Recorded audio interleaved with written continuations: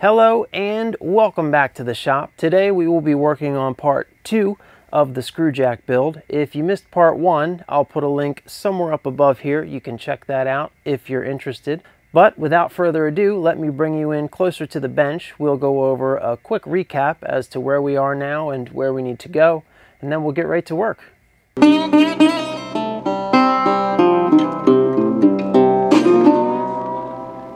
Alright, so first things first, just in case you're not familiar, this is a screw jack, or commonly called a machinist jack. I'm not going to go into a lot of detail here, but if you are unfamiliar with this tool and would like to know more about what it is and what it's used for, you can check out the first video in this series for a bit more information on that. Either way, this is a commercial screw jack, and in this video, we are going to be completing the build of our shop-made screw jack. These are the two pieces that we completed last week in the first video. This is, of course, the main body of the screw jack. And then we have our adjustment ring or adjustment bushing, which is what I'm calling it, which fits right inside of this recess in the main body. This is, of course, tapped for the main screw or the jack, which is this part here. As you can see, it's threaded. And the basic idea is you turn the adjustment ring one way and it goes in, you turn it the other way and the screw jack will push out. So basically make it go up or down. We have a couple of tapped holes here that are going to be used for screws which double as keys and this one is also a locking screw for the adjustment ring. So with the screw just loosely inserted I can't pull the ring out, but I can spin it freely. And then if I just torque down on it a little bit, that adjustment ring is locked in place. And when it's all finished, this will effectively lock our jack at whatever height we set it. And so that's basically it. You are officially up to speed. So what do we need to make next? Well, of course, we need to make the main screw, which is going to interface with this threaded hole here. And we also need to make the platform which is this piece here. That's what the work sits on. So in order to accomplish that, I of course have my drawings right here, my plans for this project. Uh, if you would like to get a copy of these drawings for yourself, you can do so on my Patreon. The link will be in the description. And with that, I think that we are all caught up. So let's head over to the lathe and get started on making the main screw. I will be starting off here with a 3 quarter inch piece of 1144 stress proof steel. I like using this particular material for things like screws because it won't move around on you after it's been machined.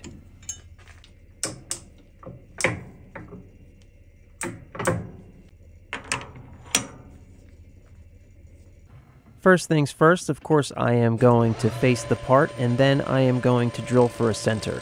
This is going to be turned down to under a half inch and there's going to be a couple of inches of stick out, so I definitely am going to want tail support.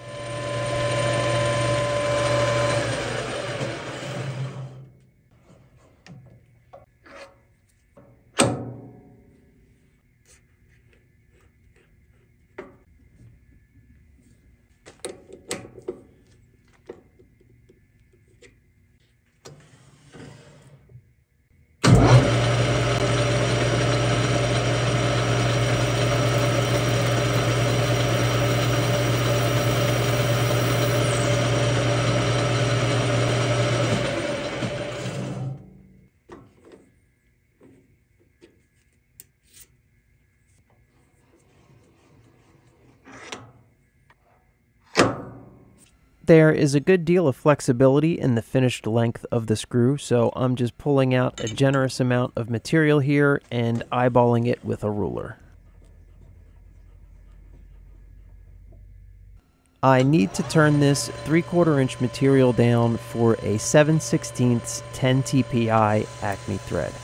So the first thing that I'm going to do here is take an initial pass to establish my starting diameter.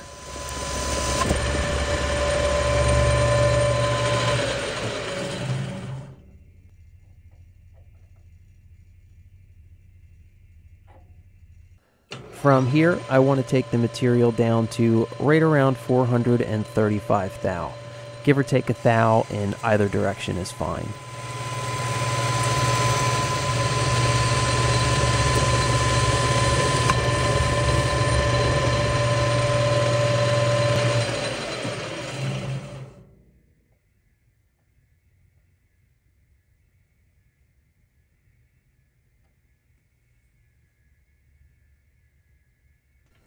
Next, I need to cut a relief so I have somewhere to start threading. Whenever I cut a thread relief, I like to take that relief down to the nominal depth for whatever thread I'm cutting. This way, when I begin cutting the thread, I know that when my threading tool just begins to scratch the surface of that thread relief, I should be right about just on size for my thread.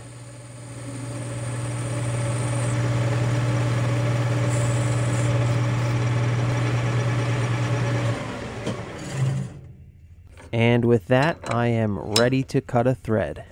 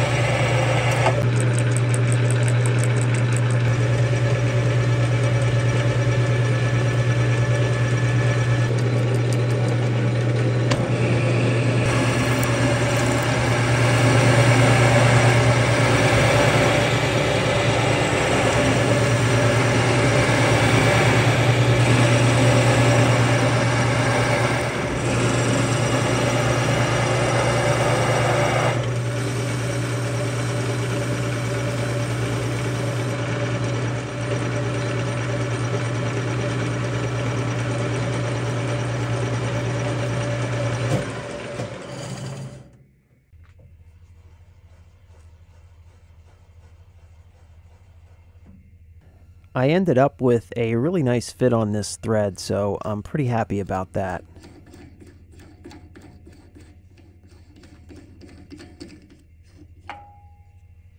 And I'm now ready to part this thing off. Like I said, the final length of the screw isn't terribly critical. Really, I just don't want it to be too long so that it sticks out of the bottom of the screw jack when it's retracted for that reason, after I part it off, I'll just flip it around and sort of clean up the backside, not paying a lot of attention to where the final length ends up.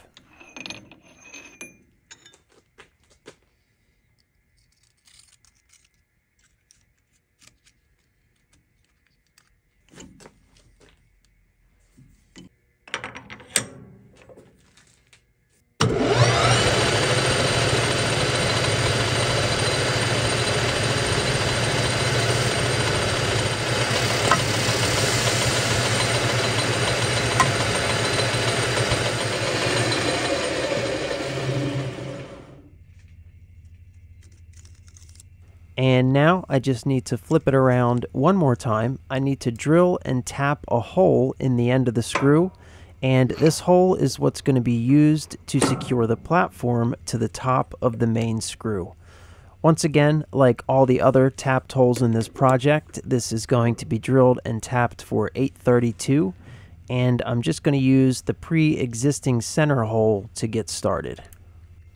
I am zeroing my micrometer scale on my tailstock because the depth of this hole is important.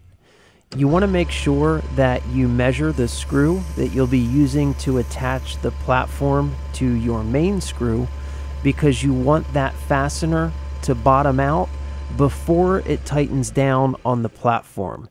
You need the platform to be able to spin independently of the main screw so that you can line up the V-groove that we're going to cut later with whatever stock you happen to be supporting.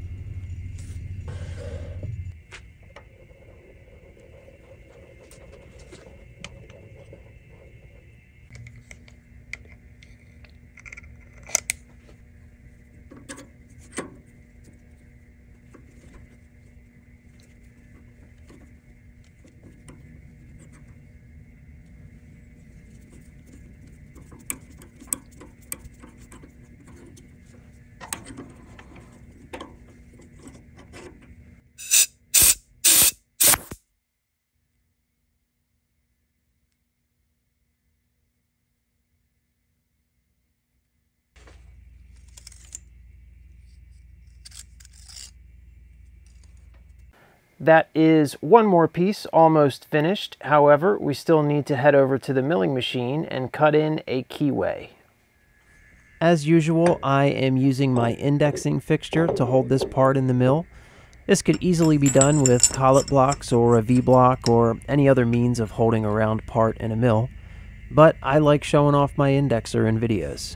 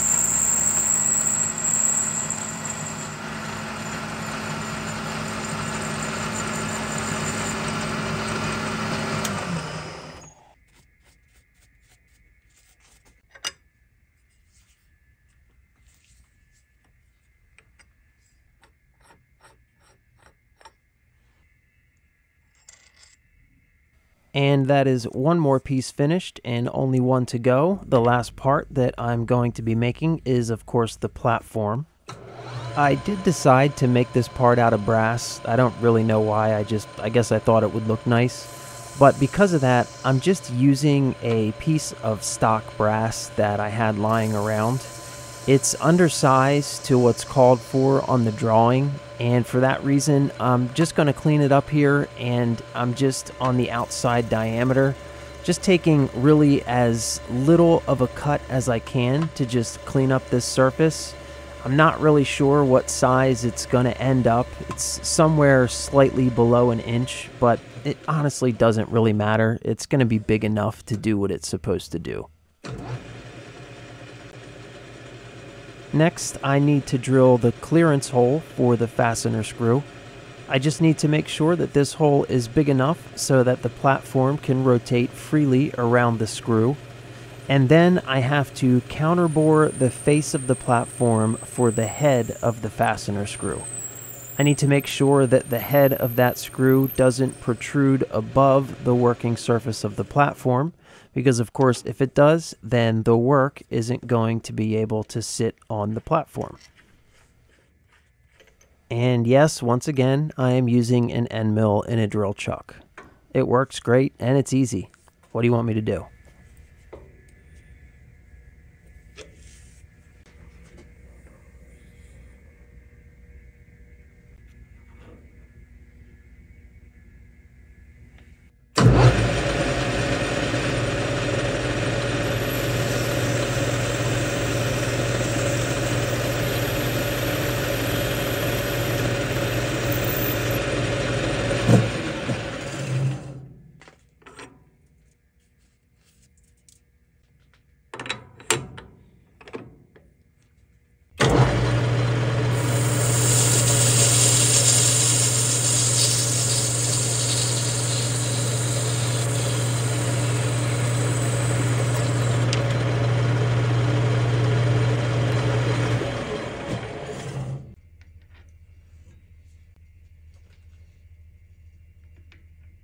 Flipping the part around here, I have intentionally left myself a good quarter of an inch of extra length on the part. I'm going to use this extra material to turn a 1 half inch diameter arbor directly into the part. I can then use that arbor to hold on to the part for all of my upcoming machining operations.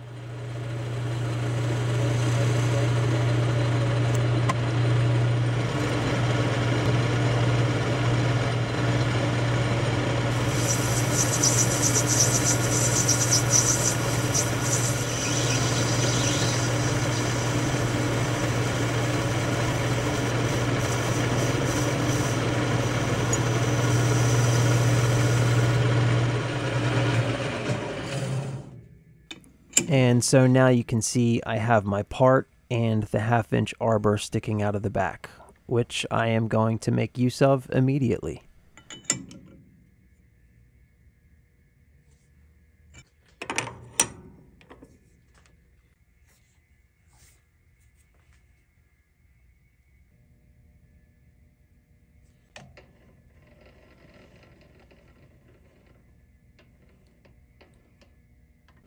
Taking advantage of my lathe here to easily scribe a center line across the face of the part, which I will then use to locate my next feature on the milling machine.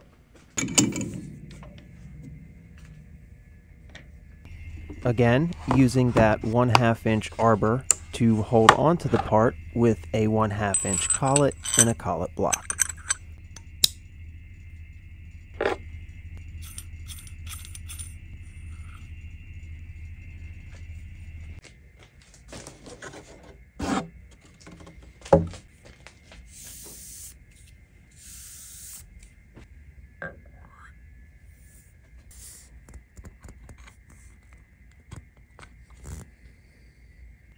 Taking a page out of Mr. Pete's playbook here and just using the surface plate to line up that scribed center line and make it parallel with the top and bottom of my collet block.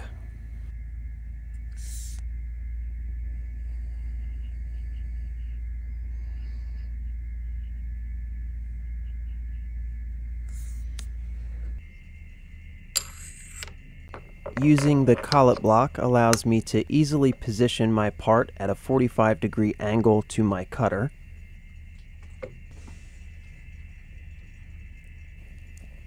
And then I can use my scribed line to locate my cutter on the center line of the part. From there, once I have touched off, I can use the Pythagorean theorem to move my cutter down and into the part the appropriate amount to create the V-way that I want.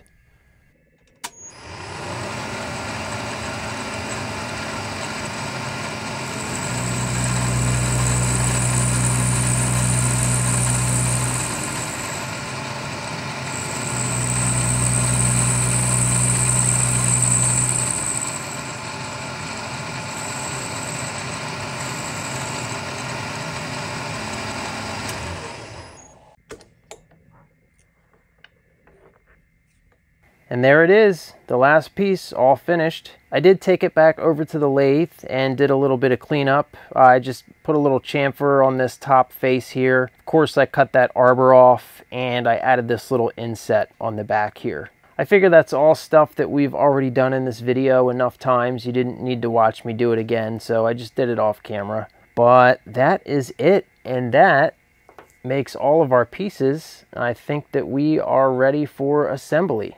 All right, so let's put this thing together. I have already installed this set screw in the bottom hole here. That is the set screw that acts as a key for the main screw. You can see it poking out into that bore there. So that's already installed. And now I can put my main screw and my adjustment ring together. And I got a really nice fit on these threads, by the way definitely happy about how that came out. It's very smooth. So now I can line up the keyway in my main screw with the set screw in this bore and that will drop right into place. And I can install my locking screw which should lock this whole assembly together so that it doesn't come apart. And that's good to go. And now all that I have to do is attach my platform. So here's the thing about the platform it is going to attach to the main screw via this threaded hole here and using this fastener, this screw right here. And if I did all of this correctly, if I got all these dimensions right, this screw, it should bottom out in this hole before it tightens against the platform itself because I want the platform to be able to spin freely, of course. So hopefully that is how this is going to work out. But at the same time, it also needs to sit down in this counter bore far enough so that it doesn't stick up into the V-way. So hopefully that will all work out. And yep, it looks like it does. So yep, that works good there. And it's just loose enough too so that there is If you can see it here, there's a little side to side play because you do want a little bit of side to side play and you want this to be able to spin because you know, you're not ever going to be quite sure what you're going to be trying to push it up against. So you want it to have a little bit of movement so that it can adjust itself. So that feels pretty good. And so there it is. There is the shop-made screw jack fully assembled. Show you the action here. If I turn in this direction, it will cause the jack to rise, spin it back in the other direction, and it will lower back down into the main body. You know, I gotta say, that is a nice, smooth action. I mean, it feels good. It really does. It feels like a nice tool. It's also, it's very heavy, but I wanted it to be heavy, you know, so when you sit it on your mill table, it's it's not gonna like fall over or anything like that or move around on you. So it's nice and chunky. It's got some weight to it. And yeah, that action is super smooth. I think going with the Acme thread was a good call. And I think 10 TPI was a good call too. It's kind of right in the middle. You know, it's not so coarse that it's hard to decide where it's going to be, but it's also not so fine that it takes forever to raise or lower this thing. Yeah, I think that uh, I like it. I definitely like it. And, you know, if I get it set wherever I want it, I can take this lock screw and lock everything into place. And now it's not going anywhere. I can unlock it and we're back in action. So there it is, the shop-made screw jack or machinist jack. I am happy with how this thing came out. And I guess that wraps up another project. I have to admit, I am pretty happy with how this one turned out. Um, is it the nicest screw jack in the world or the screw jack perfected? No, of course it's not. But, you know, for me, it turned out the way that I had imagined it in my head, or at least it works the way that I had imagined in my head, and I'm proud of it. Um, I don't know if I have ever mentioned this before, but I happen to be very passionate about tools. I know, big surprise, right? Uh, but honestly, tools are a really big part of why I got into machining in the first place. I wanted to design and make my own tools. And I know that I have a long way to go and a lot to learn before I can even come close to calling myself a toolmaker. But with each one of these projects that I complete on this channel, it does feel like I am taking one small step towards that goal. And honestly, this channel and making these videos has really pushed me to constantly kind of step out of my comfort zone and try things that I've never tried before. And I am just learning so much with each video, talking with you guys in the comments, and it's all because of this channel. And I have you to thank for that. So thank you for that. Um, as usual, if you have made it this far into the video, thank you for that as well. I really, truly appreciate each and every person who watches, and especially when you watch this far into the video, it lets the algorithm know that you enjoyed it, and that means it will be shared with more people. So thank you. Um, an extra special thank you, of course, to my patrons. Um, you know, I, I still have a hard time wrapping my head around the fact that people find value in what I do, but your generosity is, it just fills me with gratitude, but also it inspires me. To know that people out there find value in what I do, it just makes me want to try harder and do more of it. And, you know, it makes it that much easier every day to push myself to be out in the shop till midnight or whatever it takes. Um, so thank you so much for that. If you are already a subscriber, thank you for that as well. If you haven't subscribed, but you like what I do here and you feel like I've earned it, give me a like and a subscribe. If you feel like I haven't, let me know what I can do better in the comments down below. And as always, until next time, get out there, make something awesome. Most importantly, have some fun, and I hope to see you all again very, very soon.